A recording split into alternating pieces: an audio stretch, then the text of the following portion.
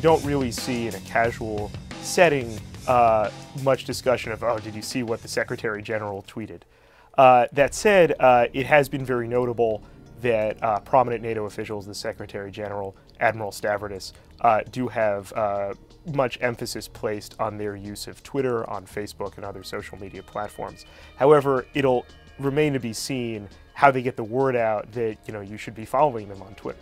I think a lot of organizations, especially on the larger scale, pay lip service to social media, um, and social media is something that you really have to do. You can't talk about social media. You'd have to do social media. It's an all-in proposition. Uh, so I'm glad to see that NATO is taking some steps in terms of creating some Twitter accounts, getting the Secretary General online, Facebook, and all those wonderful platforms. But again, they're things that have to be updated consistently, frequently, um, all the time, every day, uh, to really gather the kind of following that is going to have a significant impact on what you're doing.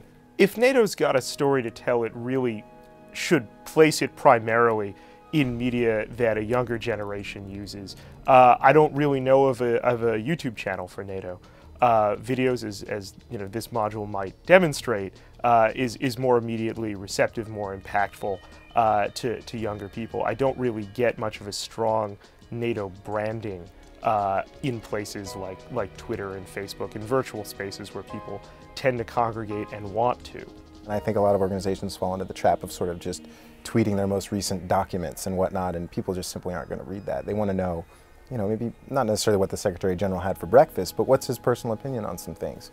So there needs to be a little bit of soul to it as well. So um, I think certainly, you know, it can be a very powerful tool.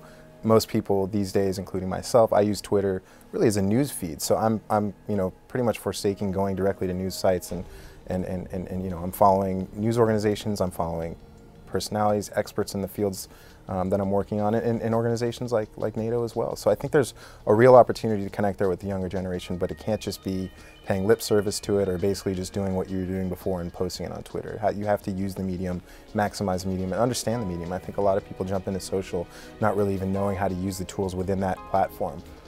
Um, a lot of news uh, is obviously made in the big newspapers, right? Like the Washington Post, the New York Times, etc.